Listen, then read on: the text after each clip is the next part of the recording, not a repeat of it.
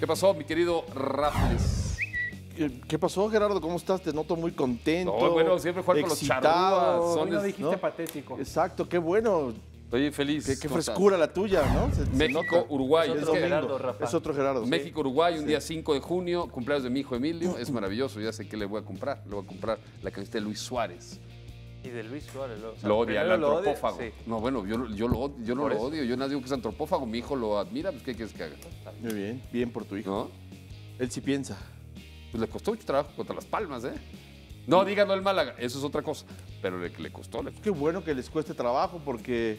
Pero de esos no son tus Rafa. puntos noticiosos, ¿no? Yo creo que lo del sorteo, para, para entrar eh, pues, eh, con la última información que se ha generado, eh, es- era obvio, ¿no? Por más que se hablara de que se iba a intentar manipular el sorteo para que México y los Estados Unidos tuvieran un grupo a modo y se pudiera avanzar. No, La realidad es que Estados en un sorteo donde hay 16 selecciones, se sabía ya que le iba a tocar a fuerza a cualquiera de las cabezas de serie un rival complicado. Sí. O Uruguay, o era Colombia, o era Chile, o era Ecuador.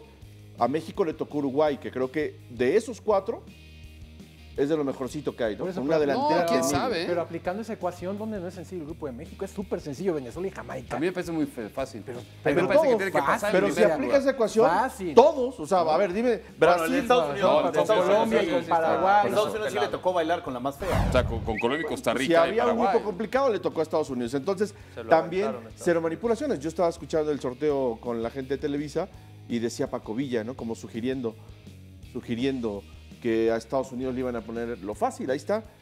Y a la No, mera hora, le quería aventar pa, lo pa, pa. O sea, tres complicados Pero rivales. Pero tienen bueno. que proteger a México, porque México mete más gente que Estados Unidos. Eso Pero no está protegido, o sea, yo creo que... Yo sí creo que esté protegido. Pero a ver, Con o Venezuela sea, y Jamaica en el grupo no está pero, protegido. pero si te toca Panamá y Bolivia, Eso- no... Esas dos selecciones, Rafael, les ganas la, la que mandaron a De Miami. acuerdo, Ricardo.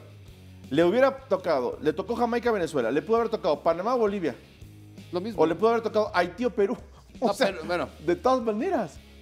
Es que sí, realmente el rival complejo él fue el último, ¿no? El que sortearon con Chile, para Uruguay. Ahora, la etcétera. realidad de las cosas, perdón, ya termino, es que si íbamos a hablar de un campo de sospecha en una organización corrupta como es la CONCACAF, que se ha querido ir limpiando la cara, pero que todavía tiene a toda esa gente, pues el equipo favorecido tendría que haber sido Estados Unidos, Y que no, es el no, país dominante ahorita en CONCACAF. Pero no el les que va- está que les está sacando todo, El que además les está sacando todo y el que le está prestando ¿Te, sus te digo mis pronósticos? No. Ya tengo, la, ya tengo quién va a ganar la Copa Ya América. ahorita los dices, Ah, pero mira, está el, el estadio Oye, que con- con va a este- estar con sus entrevistitas como lo ha hecho este- 700 veces igual en su Gerardo, vida. Rafa, No con este grupo de. México, Rafa, se confirmaría que uno de los amistosos para México a en Atlanta o en San Diego sería Colombia.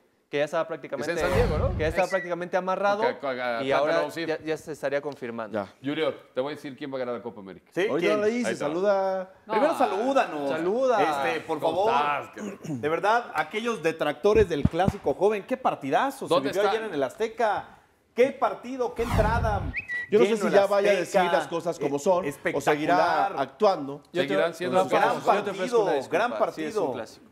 Oye, ¿Tú lo no- viste? Rafa, ¿te gustó el clásico? Me encantó. no fue un clásico. Espectacular. Es el partido que menos pasión representa para No, no, América. eh, sí fue pasional el de ayer. Es que primero ir Bueno, un hubo- estadio. ¿no? ¿Y Hubo sabes, y quién, le, sabes quién puso pasión? Yo Tomás estaba, yo fui, yo fui, yo fui, yo fui. Sí, Llevé a mi hija, bueno. llevé a mi sobrino. ¿En serio? Eh, bien, Fue estaba ahí. familiar, además, Saludé a ¿eh? Ricardo Peláez, a su hijo, a su esposa, estaba ¿fuiste al Pepe campo? Romano. Estábamos ahí cerquita, a un, a un ladito. Pero saluda a Hugo, Estabas por favor. con esas acreditaciones que... ¿Fuiste al palco No, Azteca? me invitaron, me invitaron. ¿Fuiste Fui, al palco Azteca? No, fui a otro palco, pero Ah. me invitaron y junto a ese ¿Y ¿Qué palco calor ¿Se le pueden prender al aire? estaba el de Ya los nos que ya pusieron dije. clima de Copa América. Justo ahí Bueno, arriba. pero que en fue un los palcos partidazo, que fue un partidazo. De que fue un partidazo. Mira, Hugo, Un partido no nomás goles, que por cierto, ayer lo subo. Tú querías ver goles, Gerardo, me da gusto saludarte, ya que tú no me saludas a mí, te saludo yo, mi hermano. ya, pero ¿por qué? Tú sí no los saludes. a todos los demás. No, pero a ustedes ya los saludé fuera del aire. Ah, bueno, está bien. Viven de mí Gerardo. todos estos desgraciados. Comen de la No mano. solamente un partido tiene que tener goles, tiene que tener todo eso que... Sí, Tomás Boy, robe- gracias, Tomás Boy, que está acá. Nadie de los Azul dice nada. Son, ¿Qué? son timoratos hasta para reclamar. El único que es decente, que debe representar al Cruz Azulismo en su pleno, en su, en su plenitud, es ¿Quién? Tomás Boy. Porque Ah, ¿sí? todos los aficionados de Cementeros Los Albañiles están Pero felices. sería el nuevo Cruz Azulismo. o sea, Le robaron el partido pones, ayer en el Azteca y ustedes, ay, qué buen No, partido, no, ¿eh? Azul. Familias, yo donde estaba, a un lado estaba 20 personas, la mitad eran de Cruz Azul, la mitad de la América. Una familia. Es rarísimo, es, un- es una rivalidad realmente muy, muy viva. Sí, no, no es tan brava como la de No. Pumas, que ahí sí es imposible que estés junto a un personaje Aquí que traiga la convives, playera aquí de Pumas y convives. la de No, América. no, A mí bravo también- es un término salvaje. ¿eh? No es tan pasional esta serie como lo es el Eso americano. es No lo que lo dije es. desde el principio. Pero No, no, pero no, eso- no, no, no, no, no, Aquí, no, para los americanistas, es eso está pasional. publicado No, y desde hace Puede recordar. Gerardo. o sea, Para los no americanistas. ¿qué Pero mira, clásica? A ver, es que yo estoy preguntando Yo a la gente, es, a la gente que es la que Eh, espera Ricardo, que yo hace rato que no.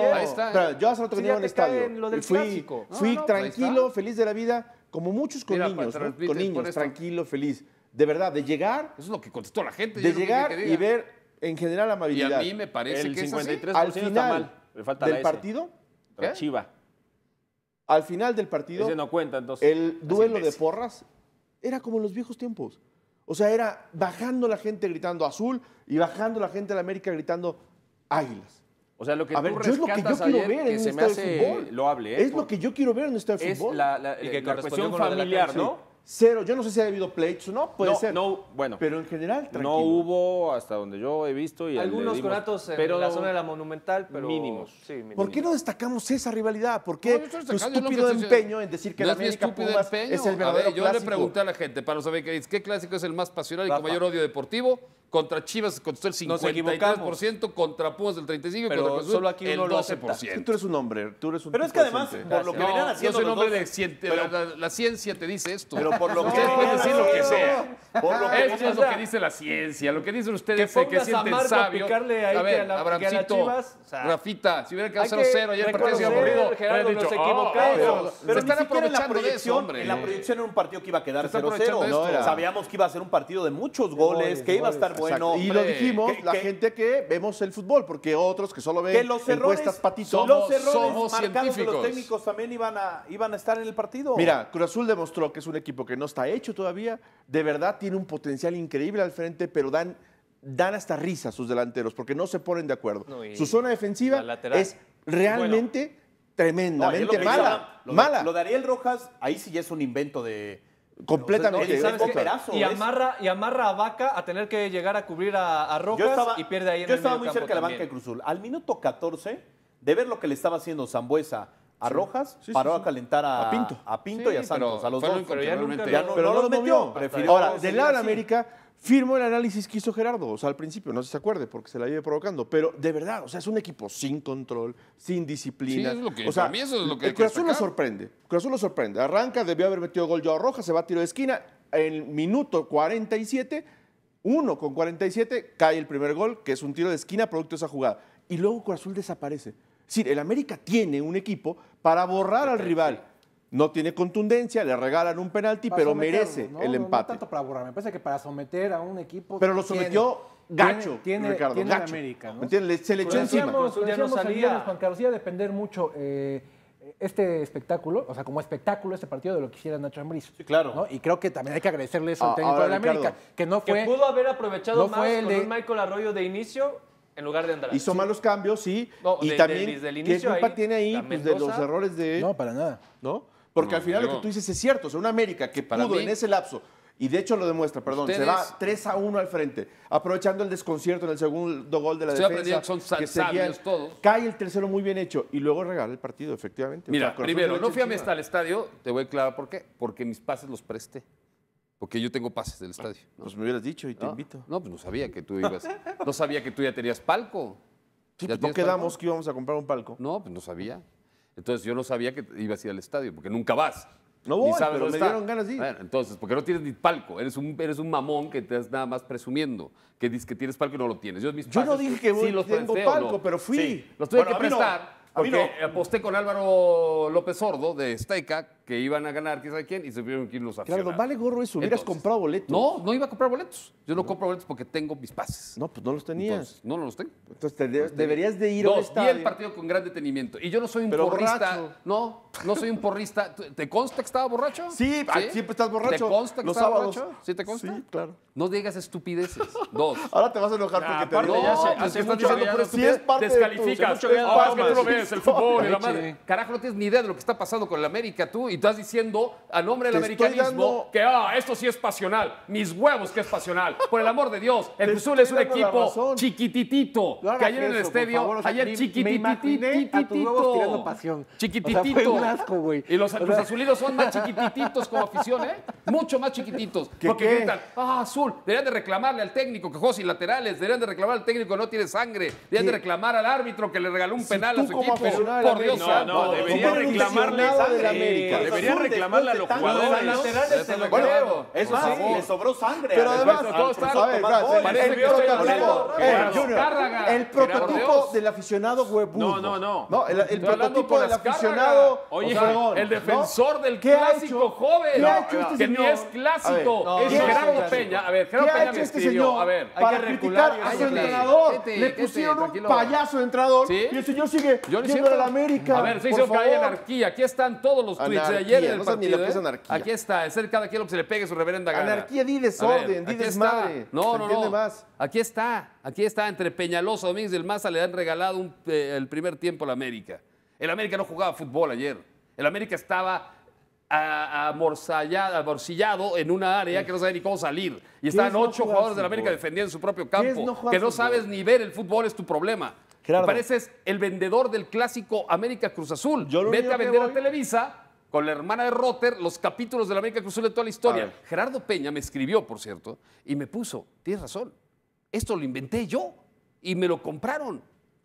A ver, Gerardo, me, me vale tus citas. O sea, No, ah, a eso sí ver, te vale. Yo lo que voy es. Ahí sí le valen los gorros las el citas. periódico en el Hombre, que- El que, en el que ellos robas. pueden, El ellos periódico en el que a ver, robas. Ellos pueden poner ¿Sí? lo que se le dé la gana. ¿Sí? Pues ven y Ellos pueden- reclámales. Pues no, ¿por qué le voy a Porque reclamar? ellos también Yo soy libre de pensar lo que se me pegue la reverenda ¿no? gana. Sí, cuando te ¿No? conviene, cuando Yo no, pienso no. lo que se me piensa, lo que se me pega la reverenda gana. Así pienso. Y si me quieren Pues correr, sé que me corran. congruente, sé que congruente. Para mí eres el, el único clásico que menos eso. pasional para el americanismo es contra Cruz Azul. Te guste o no te guste. No, es ustedes, a el, mí el me clásico del importa. Cruz Azul es contra el Pachuca. A mí me Entonces, importa el de Hidalgo, poco. ¿no? Me importa poco lo que tú Yo, piensas. hace- de verdad, Porque ¿eh? no piensas. Al América, al Azteca, como tal, acabó el partido, tú estabas, tú estabas- la gente aplaudiendo, contenta. partido fue bueno, Mira, porque había el visto, periódico el un buen señor partido. Velázquez de León Entretenido, no lo tomes, no le sacas, Ahí no que sigas el juego, no le Ahí sigas está. el juego. y ahí no dice nada, ahí no dice absolutamente nada. Pues sí dije. ¿No? Dije, Nada. escribí el jueves anterior. A mí, eso, ¿no? Gerardo, me llama mucho la atención porque que tengas algo contra Tomás Boy puede no ser y está bien. Y pero ¿por qué? el Pero ¿por qué Tomás- le tienen que reclamar el a Tomás este Boy? país. Le tienen que reclamar la afición a el Tomás Cata Domínguez por la, la estupidez del, del gol del segundo gol. Al, al Maza, A ver, al yo Maza, creo que no- a Joffre Guerrón que se traba con, la con el balón, se traba, se, se, Pinto, se- o se- Pinto. se cae O con el Pinto, balón. pero a ver, son cosas que a mí yo lo, de- lo detecto y lo puedo opinar o no puedo opinar tampoco. Claro, No, por el amor de Dios, ¿cómo no vas a poder opinar? No, te pones a tartamudear, Es es, que no programa, tienes no ni tienes ni siquiera idea de lo que estás diciendo. Mira, Tú hablas de por ti, yo hablo el por mí.